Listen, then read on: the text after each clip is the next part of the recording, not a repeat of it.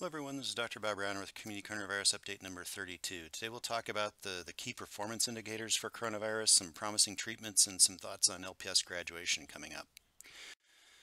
So it's kind of sobering. Uh, unfortunately, things are not heading in the right direction in the United States. Uh, you know, uh, initially, a lot of countries screwed up the first thing. They waited too long to do anything. So Italy, Spain, us made this mistake. Uh, but only a couple countries made the second mistake, which we've made. So most countries got it right after the first mistake and didn't get it wrong the second time, which we have. Uh, there's a few others like Brazil who never even tried. Uh, and the problem is the number of Americans. So if you look at us on a population level compared to, to Germany, if we were like Germany, we'd have only had about 35,000 dead, dead Americans. We're already at 142,000 already. Our first mistake meant that 100,000 Americans died that didn't have to die. Uh, and, if, and, if, we had got it right, though, we could have prevented the next wave. And so we're probably going to get another 100,000 Americans dying because we didn't get it right the second time either. Uh, and it's going to keep getting worse until we change our strategy because our strategy so far has been fundamentally flawed. Uh, if we make the continue to make these mistakes, mistake number three, meaning still not changing, I'll be surprised if we don't have at least a half a million dead Americans by the end of the year, more than Germany had. And all of this is preventable if we would do the right thing and listen to public health experts. So what is that plan and what is the right thing? Um, well, I, I kind of like the Winston Churchill quote. You can always count on the Americans to do the right thing after they've tried everything else. Please, are we done trying everything else? The expertise is out there. We've seen there's so many proven examples, and we've known about this for decades. Uh, people in the public health sphere. So hopefully, our leaders will get past the wishful thinking stage and, and wake up and smell the coffee. Uh, it's interesting to see that CEOs across the country are figuring this out. So this came out, uh, an op-ed written by 21 national company CEOs, people like Best Buy and J.C. Penney and Foot Locker. Uh, this is just a partial list here on the side, all asking governors it's time to require masks and scores. Everybody from Walmart to CVS to Sam's, everybody's requiring masks because that is there is no way to solve this without you know, almost universal mask wearing. Uh, and even yesterday, uh, President Trump came out and said, pleased with Americans to wear masks. I, I, don't know why the change. My assumption is that somebody finally showed him the numbers. And literally, we're talking a half a million dead Americans if we don't change our course and change it soon. So what is the effective plan? What did everybody do that did it right? Number one, they pushed the spread down to 10 to 20 per million, or if you're per 100,000, which is what our state graph showed, be 1 to 2 per 100,000. You have to push it down to that level in order to get things under control. It's like putting out a fire. You got to get the raging fire put out before you go to the next stage. Then you got to go in and make sure you keep that fire tamped down. To do that, you needed to put in place a testing strategy and contact tracing. We didn't do that, and we still don't have that in place to the degree that and organization is necessary. We also needed a communication plan around suppression. So like Japan, which almost everybody in Japan wears masks. My daughter lives there. They're all wearing masks. And they did their, their avoid the Cs uh, communication plan where they communicate this everywhere. Avoid closed spaces, crowded places, close contact, and masks.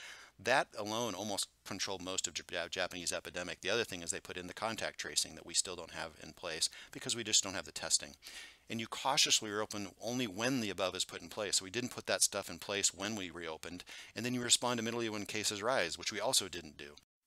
Um, so here's an example, and this is uh, United States versus Italy. So United States, you know, we went up we went down a little bit and then we went way, way up. And this is Italy. So Italy had a horrible time in northern Italy.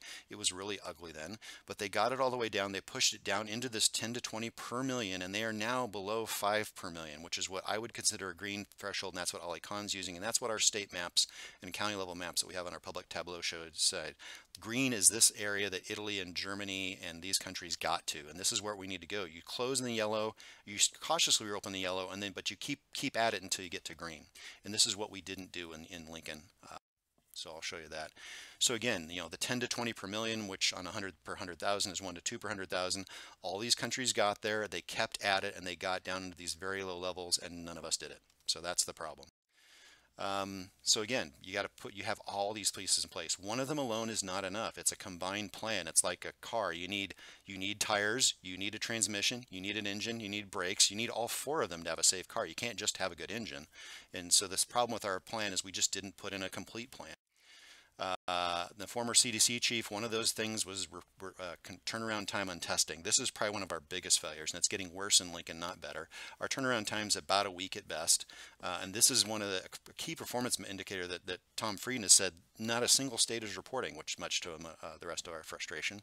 Uh, and even the other indicator that's out there that also isn't being is how good is your contact tracing? And so Ali Khan tweeted this uh, a few days back. These are the things you need to have in place. And I'm yet to see any of this being reported in Nebraska or at, the, at our health department level. We have contact tracers, but the measure of are they doing their job is that. And so if you wanted a key performance indicator for a dashboard, you would want cases per 100,000 thresholds with a seven day moving average for your county. Uh, you would want testing, number percent positive, and a turnaround time, and you want reports on contact tracing. Uh, and there's measures of out. This is another list of those key performance indicators put out by Tom and Frieden, the former CDC director. A lot of these are out there, so why is nobody looking at this? So what might this look like for Lancaster County? One is we need a dashboard that actually has some good thresholds on it to say, okay, to the community, how are we doing? If we want to do what all these other countries did that did it right, they pushed it down to yellow, and we never got to yellow when we started opening up. Uh, and then once we opened up, we didn't put any of the other things in place. We didn't get the contact tracing to the degree we needed. Uh, we didn't do the communication strategy. We didn't require masks, and lo and behold, it went right back up again, uh, and as any epidemiologist would have predicted. And then to make matters worse, it took us three weeks to do anything about it. We sat there and watched for three weeks as those numbers went up. That should have told us that our plan was not working and we should have changed. Why did it take three weeks to change that plan? So you should look at this. This is your ultimate measure. You should look at, we do have case counts per week and percent positive, but we still don't have turnaround time. It should be in the one to two days range, not in the seven day range. And then we should have a, a measure of contact tracing. How many people have actually been contact? How many have been isolated? Uh, how many have under isolation? This is a measure of what things are doing. Any well-run business would have this. And you as taxpayers are paying a lot of taxers. It's justified. You should expect this, and we are not seeing it. Um, and my, my biggest fear right now is if we don't get it right this time, our hospitals will be overwhelmed this fall when flu season starts. Uh, flu season on a, on a bad flu season year, that's enough to fill hospitals. If we have that plus coronavirus, it's going to be a nightmare come October, November, December. And this one's going to make New York look like a walk in the park if we don't get it right this time. Um, so that enough bad news. There is good news on the horizon. So actually there are multiple vaccine candidates, including a trial in Nebraska starting next week. And there are actually three Nebraska communities that are part of this trial, Grand Island, Norfolk, and Omaha, uh, under Meridian Clinical Research. So there are multiple vaccine candidates that look really promising. Uh, now it's still going to take a while. This is going to take uh, probably at least six months just to find out if it works and start ramping up capacity. So, you know, it, it, it's probably January before you get a vaccine at least, but you know, hey, there, it's promising. And so this is the fastest a vaccine has ever been put into place before. So if this is successful, this will be great. Uh, and it's just not, not just us, this from Lancet. There's an English trial also that it looks promising. They're having good antibody responses. So this is very, very good news, actually. So if we can put a plan in place and, and tamp it down for the next six months, we could save hundreds of thousands of American lives instead of rushing to herd immunity in the disastrous fashion we're rushing to right now. Uh, mortality data, uh, so this is getting complicated. The good news is that most young people are not going to die, and being a father of three daughters, that's the most important thing to me is that my daughters will be okay. Uh, but, you know, people my age, unfortunately, we're dying, so this is concerning. Uh, we're getting clear numbers on mortality data. The initial thought was that somewhere between 0.5 and 1.5 percent. Uh, this new meta-analysis shows that it's a little lower than that. It's they're they're saying the average is 0.68. Still a lot of Americans. So if we rush to herd immunity with uh, with uh, not a lot of control, that could still be 2 million dead Americans. But we hopefully will not do that. The other thing is this number will drop over time. So it may have been 1% uh, six months ago, back before we had the treatments we have. So if right, so case reports a, a few months ago showed ICU mortality rates in the 70% range. Well, if we're pushing those down to 40%, that cuts mortality from the 1% to the 0.5%. So if by waiting we are saving lives, so it's not like this is inevitable and we're just got to go through it no matter what, we can delay it enough to the point where our mortality will drop dramatically. Just because doctors and the ICUs and the nurses and the respiratory therapists are just getting better at their job, we get more treatments. There is a, such a huge reason to slow this down. Uh, another good thing on the horizon is the uh, convalescent plasma I talked about a while back. Uh, Johns Hopkins on Monday did a, a re, they brought Dr. Uh, Casadevall back, and actually the good news is the studies are in progress. They have 35,000 people in these trials. Uh, so far, it's showing that it's safe. So the you know for, most important thing in medicine is first don't kill anybody. Uh, so that's the, the, studies appear to be safe, that it's work, that, and that, that number are promising.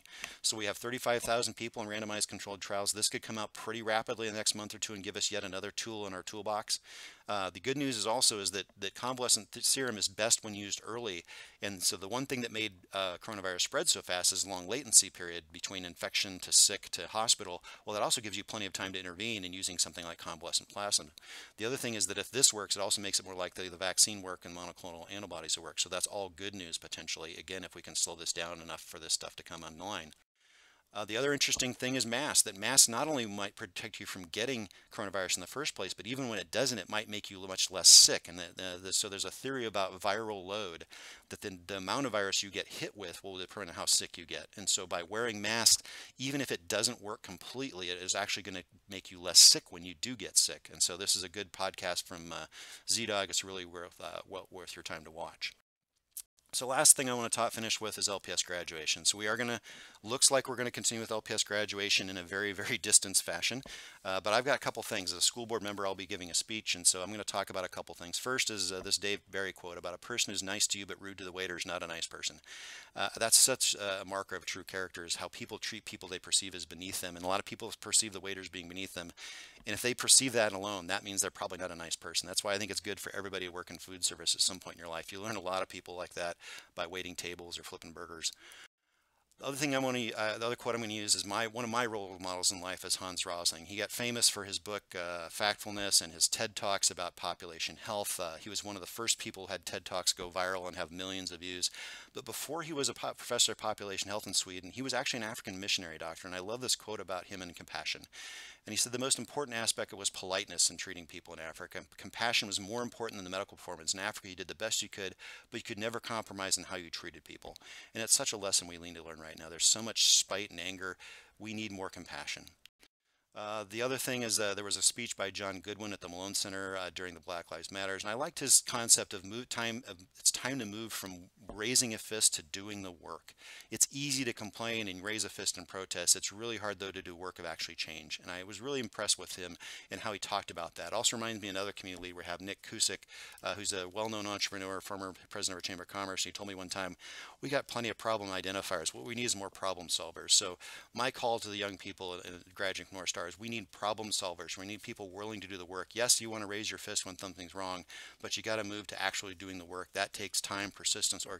That's the hard part. And that's what we really need to move to. And we've got so much to rebuild in the United States. We have so much potential. Uh, so those of you know, Lincoln Public Schools re released its uh, measures this week. Uh, this actually is really the, the crux of it. As individuals, we need to do all this. When we're sick, we need to stay home. We need to wear face coverings. We need to wash our hands. And we need to keep our distance. And this is what we're going to do for graduation. So uh, we're going to use the Pinnacle Bank Arena, and those kids are going to be sitting on the floor. They're going to be three to six feet apart. So there's the distancing side of it. They're all going to be wearing masks. Everyone is going to have to wear a mask. Uh, we're not going to shake hands because of the hand hygiene issue. And hopefully if we do all this, we can do things like a graduation safely, but we have to put all these things in place. Just like when we bring kids back to school. I hope we're going to have kids back to school, but that requires you and the community doing your next thing, the right thing in the next three weeks. We have to get rates lower than they are right now if we want to safely up in school. And there's only so much we at LPS can do about that. That's up to you. So lastly, this is uh, what I do for a living. This is not necessarily the opinion of all these people. Uh, but this is where I work, So you can verify that I'm not some uh, crazy YouTube person. I actually do have a job. I do have this background. Uh, and hopefully this is all helpful to you.